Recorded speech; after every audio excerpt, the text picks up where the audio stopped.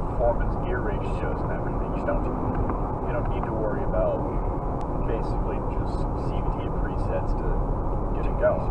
Yep. What I do like about these, if you put it in the manual mode, you can start it in second, which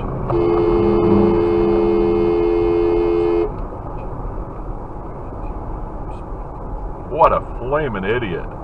You know, you, you can have performance gear ratios and everything. You don't you don't need to worry about basically just CVT presets to get it going.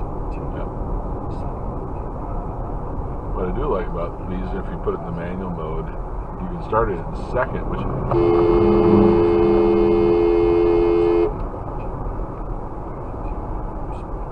what a flaming idiot!